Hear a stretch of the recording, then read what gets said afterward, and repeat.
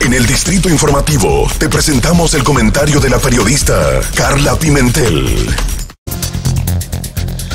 Bueno, la semana pasada circularon varias notas de prensa de la Policía Nacional, específicamente de la Dirección Central de Investigación, el DICRIN, acerca de incautaciones que se realizaron en las zonas de Villa Juana. Eh, allí se anunciaban de la incautación de miles y miles y miles de, específicamente de piezas de vehículos eh, de todo tipo que se incautaron en la zona. Habían retrovisores, tapas de retrovisores, espejos, eh, los logos que se colocan adelante y atrás, los tapabocinas, eh, de todo, de todo tipo de, piezas de vehículo y se hicieron dos incautaciones. Una de ellas trajo consigo 10 mil piezas que se llevaron las autoridades en un solo lugar y especificaron hasta el local, la calle Ernesto Gómez, entre calles María Montés y Moca. Eh, todo el mundo sabe que cuando va a comprar algún tipo de pieza o necesita porque se la robaron, pues la gente va a esa zona porque dicen, bueno, ahí la voy a conseguir y ahí la voy a conseguir hasta más económica. Pero también era un secreto a voces de que si a mí me robaban una pieza de un vehículo, pues iba a parar allá. Yo muchas veces hasta pensé, me, robaron en dos ocasiones las, las tapas de los retrovisores y justamente en la zona subiendo la Gómez me encontré a un joven porque se paraban en esas zonas, como en las esquinas específicamente, en ciertas horas, con eh, las mismas tapas de los retrovisores a decirte, hey, si te falta una, yo tengo, te la vendo, te la vendo. Yo un día pensé, conchole, ahí va la mía, ahí va la mía. Y, y uno se ríe, uno se ríe porque ahora, después que te suceden estas cosas, te resulta gracioso, pero lamentablemente no es algo gracioso ni y de lo cual amerite una risa, porque estas personas, y allí apresaron supuestamente solo a dos, no dijeron, bueno, dijeron varios hombres, eh, luego se dijo que se iban a procesar a dos personas. Eh, obviamente es un proceso de investigación antes de llevar eh, un proceso ya sea de prisión preventiva o, o carcelario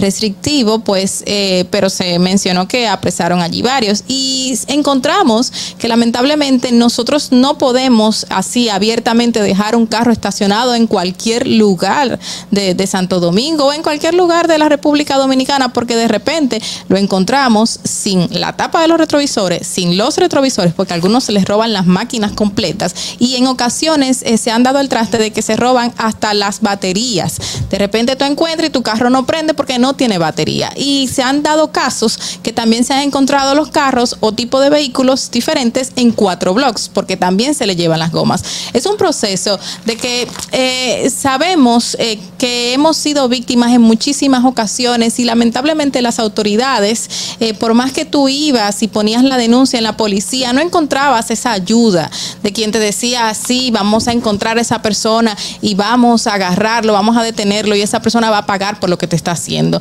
Porque lamentablemente es un delito, ese es un robo y aunque no haya habido en un momento dado un, un hecho lamentable de violencia hacia una persona o que resulte en una persona herida o que resulte una persona muerta, pues un robo es un robo. Y esa cantidad de piezas deja entonces visto que en la zona, y ese secreto a voces que se decía, y en esa zona sí están todas las piezas robadas, pues parece que es así. Y en esa zona están todas las piezas robadas. Yo lo que le pido a las autoridades, y me imagino que mucha gente lo pide también, es que no solamente se queden que se incautaron 10 mil piezas que pueden ser eh, robadas, según señalaron, o haber sido robadas, no, que no se queden en que se incautaron, que esas personas realmente reciban las sanciones penales necesarias por cometer ese delito y que no volvamos a saber de que en esa zona se están vendiendo esas piezas robadas y que no volvamos a hablar del tema y que nadie en ningún momento crea de que, concho, le me robaron aquí, eso seguro está allí porque es lo que se va a quedar. Que no se queden simplemente yo incauté 10 mil piezas eh, robadas en una zona